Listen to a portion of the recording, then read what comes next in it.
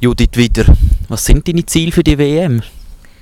Ähm, das Ziel sind einerseits konstante Läufe, technisch gut laufen und resultatmässig ein Diplom, ähm, das das Ziel wäre.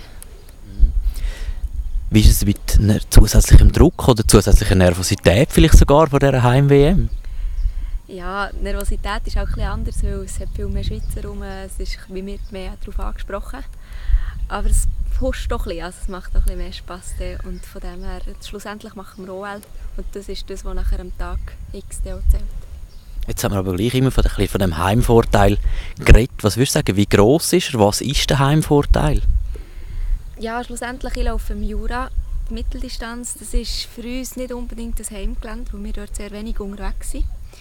Ähm, der Sprint ist sicher, es wird eine Schweizer Stadt sein, wo wir uns gewöhnt sind, uns zu bewegen, aber in Lausanne selber, dort unten, dürfen wir auch nicht, haben wir uns auch nicht dürfen bewegen, von dem her, dort sehe ich keinen Heimvorteil. Was sicher ist, ist, im Ziel stehen deine Liebsten, stehen die Leute, die dich am meisten unterstützen und das pusht natürlich dann schon ein bisschen mehr noch, den letzten, das Letzte rauszudrücken im Zieleinlauf zum Beispiel. Im Vorfeld, welche Frage wird dir jetzt so am meisten gestellt und was hast, was hast du für eine Antwort parat? Grundsätzlich sicher die Resultatziele, die sehr viel gefragt werden. Ähm, dort ja, ist das, eben, das Ziel ist das, was wir gesagt haben.